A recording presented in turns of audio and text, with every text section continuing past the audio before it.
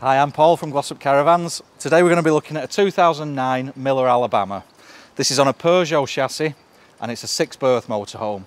It's got a full complement of seat belts so it can travel six and sleep six. Let's take a look around the back. Right, now on the habitation door side of the motorhome, you do have a full length wind out canopy.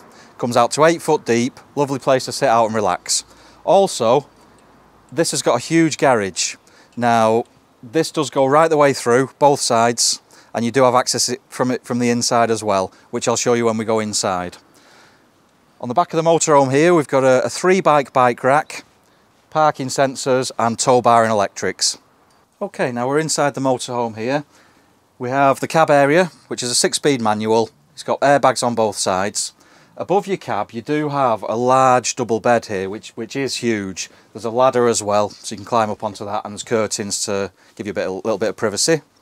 In the living area itself, this is a really comfortable social area that can turn into a double bed. So that's your second double bed.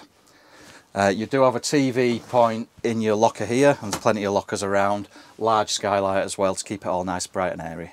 Let's have a look at the back. We're now at the rear of the motorhome. We've got a, a large side bathroom here, uh, with again a separate shower cubicle. So plenty of space in there. Uh, your kitchen area itself, you have a hob and a grill and a large fridge freezer.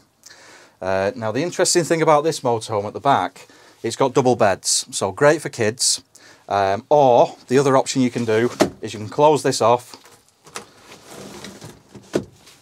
The storage lockers outside lead to underneath here, so you can lift the bed up and use the bottom bunk completely as storage if you need to.